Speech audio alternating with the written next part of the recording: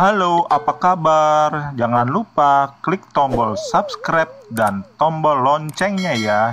Untuk mendukung channel ini, sekarang kamu bisa beli loh merchandise-nya di ciptaloka.com slash plus kampung garis bawah tumaritis.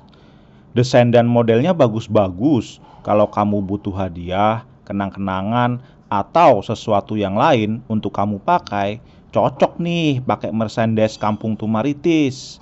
Kamu tinggal pilih mana saja yang kamu suka. Pilih jenis, warna, dan ukuran. Klik beli sekarang, transfer deh. Kamu tinggal duduk manis dan tunggu barangnya datang. Dengan membeli merchandise ini, kamu bisa juga loh mejeng di kartun ini. Caranya, kamu cukup foto diri kamu bersama merchandise yang barusan kamu beli lalu DM ke Instagram animasi Petgar. Jangan lupa ya, ketik ciptaloka.com plus kampung garis bawah tumaritis.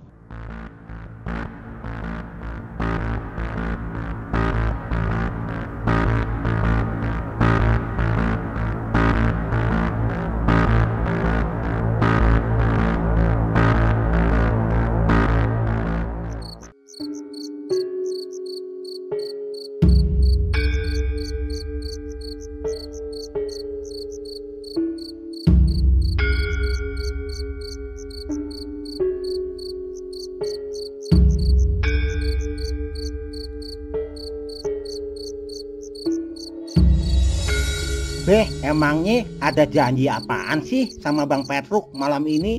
Kayaknya genting amat. Tadi kan dia telepon, katanya sih Pak Camat kita, Pak Yudhistira, sakit parah. Gue diminta buat ke rumahnya. Soalnya si Limbu juga udah angkat tangan. Hah? Sakit apaan ya dia? Wah, lu jaga rumah ya Gong, biar gue sama Petruk aja ke sono. Oh, iya iya, iya beh. Assalamualaikum, Beh. Assalamualaikum. Tuh dia si Petruk, gue langsung berangkat ya Gong. Assalamualaikum. Waalaikumsalam.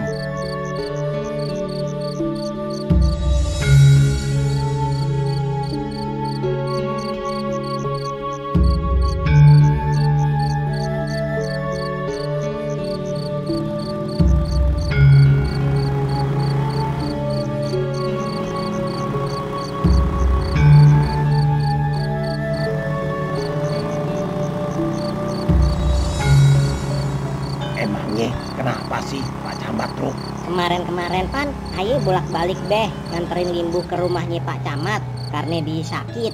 Jadi Limbu disuruh ngobatin Pak Camat. Tapi sampai malam ini dia belum juga kunjung sembuh. Malah tambah parah penyakitnya. Nah, malam ini karena udah mentok, aye disuruh Pak Lurah Arjuna buat manggil Babe. Kali aja bisa ngobatin Pak Camat. Hmm, pakai herbal bisa kali ye. Eh, ya kita coba aja ye Truk. Iya.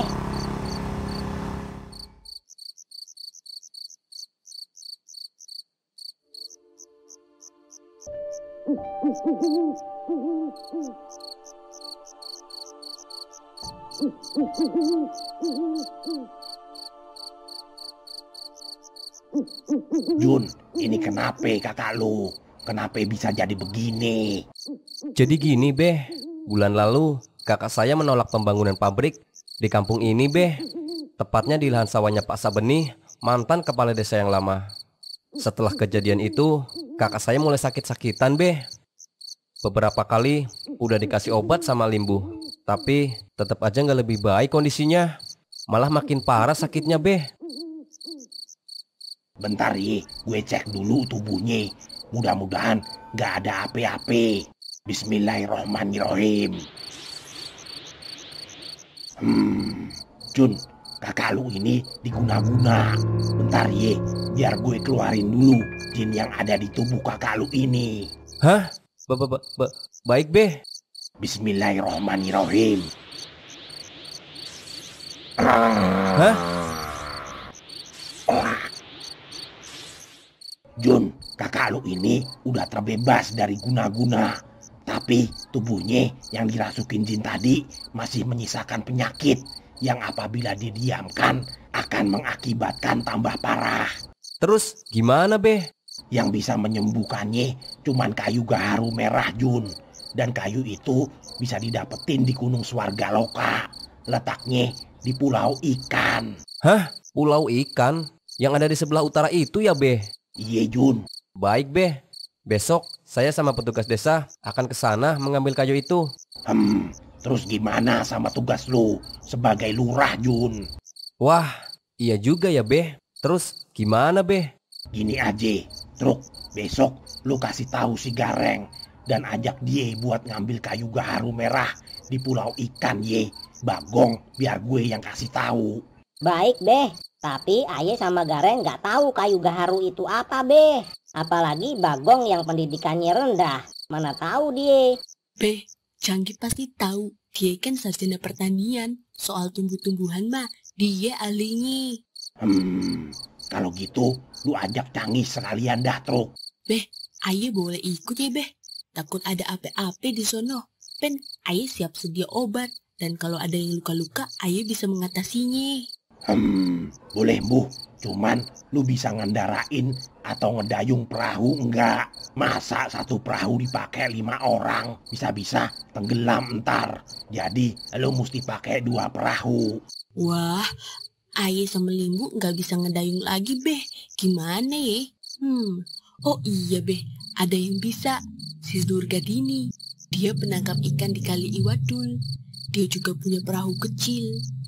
Nah, boleh tuh lu ajak dah sekalian. Sekalian juga lu pinjam perahunya dua biji. Beh, biar saya bantu perahu bot bagaimana? Hmm, sepertinya gak bisa Jun. Soalnya untuk menuju ke Gunung Swargaloka mesti pakai perahu kecil. Tapi kalau mesin botnya sih bolehlah dipakai. Baik beh. Oh iya, pokoknya semua biaya biar saya yang tanggung. Ya udah, sekarang lu siap-siap deh, truk. Bu, besok pagi lu berangkat sama yang lainnya. Biar gue siapin kendaraan yang nganter lu, lu pade ke pantai. Baik beh. Oh iya beh. Kita start di pantai mana ya beh? Itu pantai yang waktu lu kecil berenang truk sama saudara-saudara lu. Oh itu ya beh. Siap siap beh.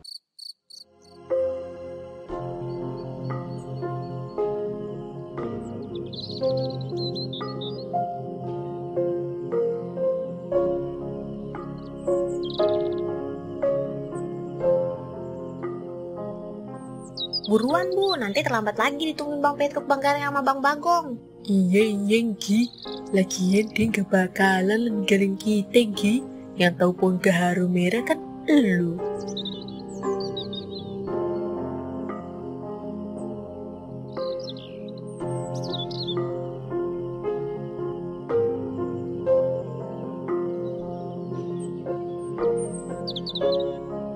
Gimana? Lu udah pada siap? Siap beh. Siap. Ya udah, sebentar lagi juga si Ipul bakalan datang. Oh iye, harap lu inget-inget kalau bekal lu habis dan lu lapar, lu boleh berburu apa aja di pulau itu. Tapi jangan sekali-kali lu berburu ikan ye. Lah, emang kenapa, Beh?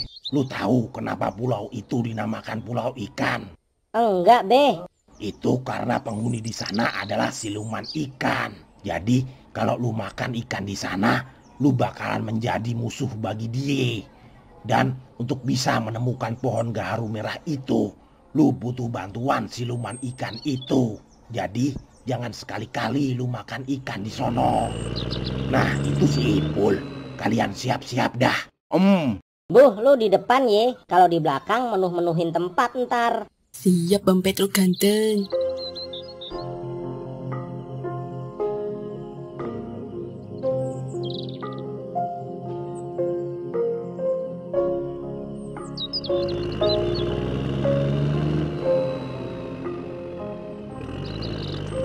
Gaharu adalah kayu berwarna kehitaman dan mengandung resin khas yang dihasilkan oleh sejumlah spesies pohon dari marga Aqualaria, terutama A. malaxensis. Resin ini digunakan dalam industri wangi-wangian karena berbau harum.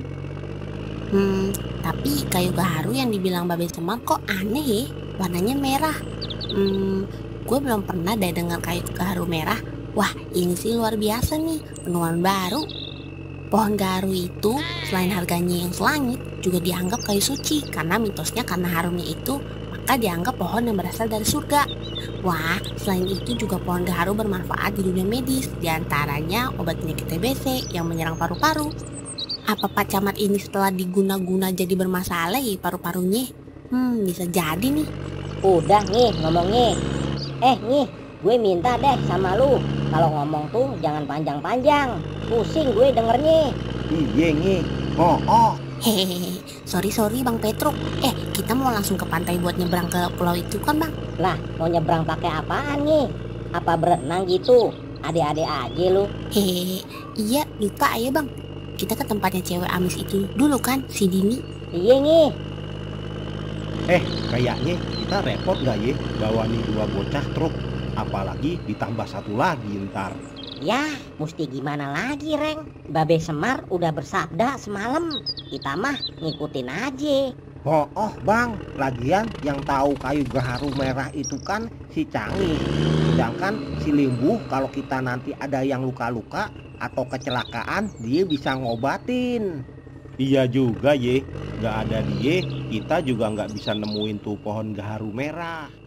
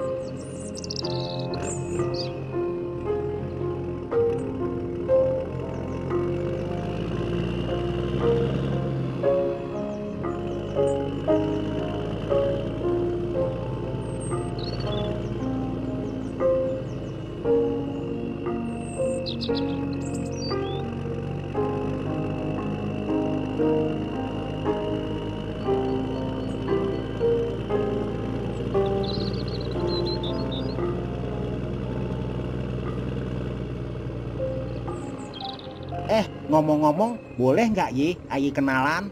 Wah, dikirain Abang udah dikasih tahu sama saudara abang nama Aye. Eh, biar Ahdol din. Eh, Neng, nama Ayi Bagong. Oh, nama Aye Andini. Nama panjangnya Dirgandini. Eh, si Bagong kenapa nggak kebauan ya truk? Au ah, pilek kali dia,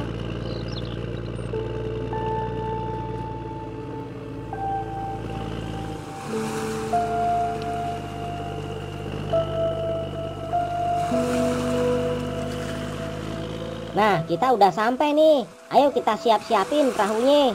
Iya, Bang.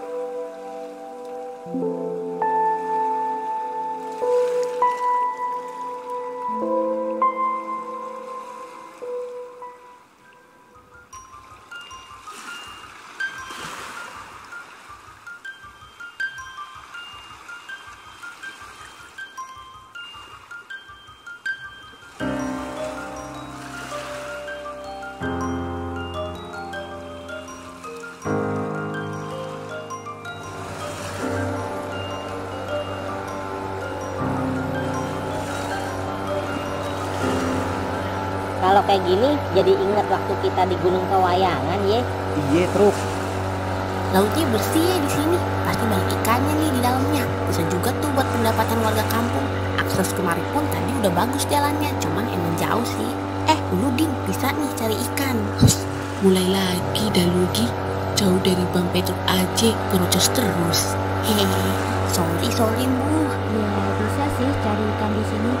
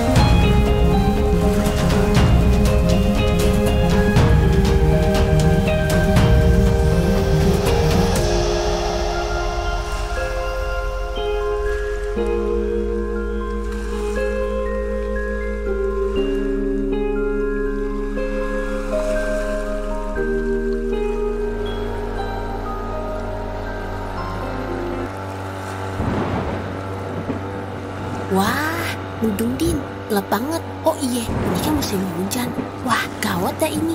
Tenangi, jangan panik. Nanti kita malah semakin bingung. Coba masukkan tanganmu ke dalam air dan katakanlah, jadilah sahabatku. Oh, gitu ya, Din. Reng, gimana nih? Tenang truk, Bismillah aja. Semoga kita tetap dalam lindungan Allah Subhanahu Wa Taala. Semuanya pakai tas masing-masing ya. Amin.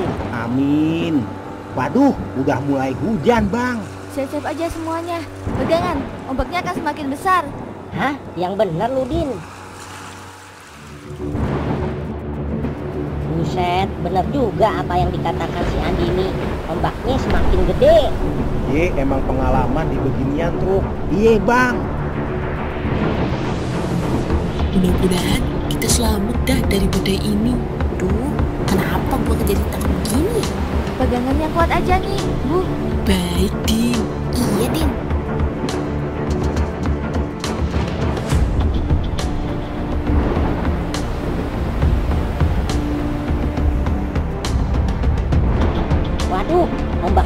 Gede banget, Reng. Oh, oh bang. Pegangan truk, gong. Kita terabas ombak-ombak ini. Bin, pulin gasnya ye. Baik, Bang.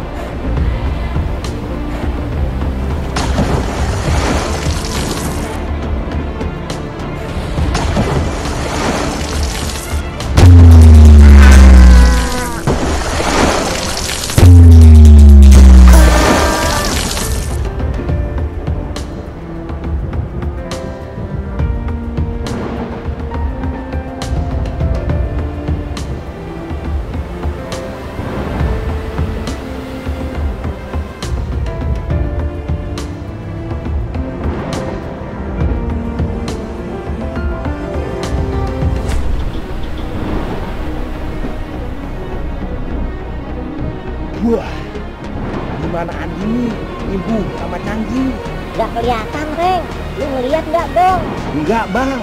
Baiklah, kita doakan aja. Semoga dia baik-baik aja.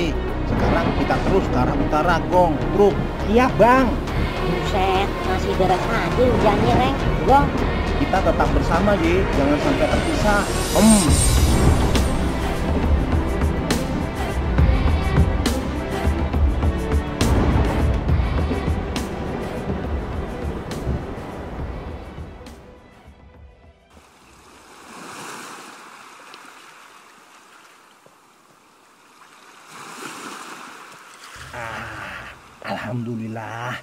Akhirnya kita sampai juga ke daratan. aduh, kepala gue pusing. Ini pulau ikan kah, Reng? Di mana ini bang? Mudah-mudahan ini pulau ikan itu truk, gong. Ya, mudah-mudahan aja, Ye.